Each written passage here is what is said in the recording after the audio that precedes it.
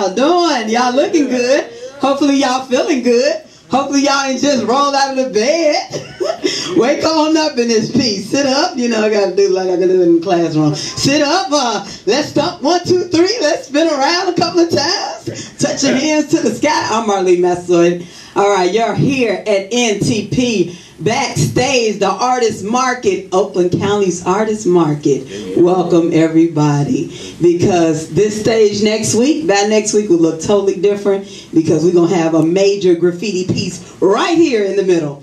So um, history in the making right now. All right, let me let you know what NTP stands for. NTP stands for National Theatrical Productions. So as you see the different faces in the middle, that's because we are a theater company first. We've been doing theater since 2005, and uh, and it's 2017, so we've came a long way with our theater company. We've actually written 15 plays. We performed seven of those plays. Some of those plays include Ain't I a Woman, Battle for My Soul, He's My Father, but Who's My Daddy, Hear My Cry. We've done those plays all over the Michigan area as well as in some of the Chicago area. All right, within this artist market, you're going to see different businesses functioning together under this one roof. So over here to the left, we got Royal Catering. Clap it up for them, y'all. They got the chicken and waffles on deck. They the bomb.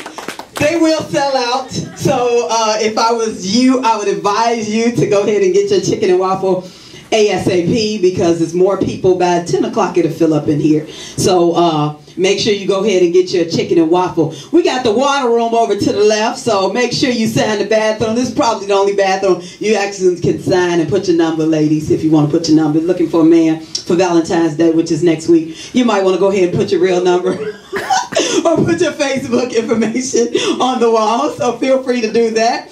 Um, back here in the VIP area, we have over 10,000 signatures. We'll make sure you see that room back there. We have, have everything from uh, comedians come through, hip-hop artists come through, and these are local, national, and international artists who have been right here in this building.